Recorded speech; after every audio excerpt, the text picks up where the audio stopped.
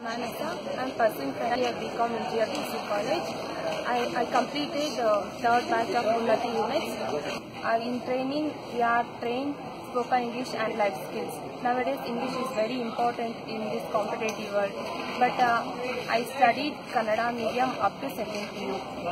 After joining Unnati, I can uh, speak in English and I can manage people also.